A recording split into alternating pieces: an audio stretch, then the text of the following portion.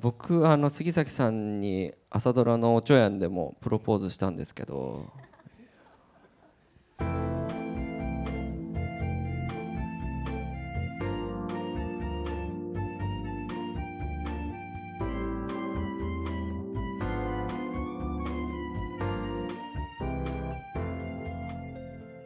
ぐわんぐわんこう心が揺さぶられるような時間を演じていて過ごせたのは初めての体験で素晴らしい経験をさせてもらったなと思います。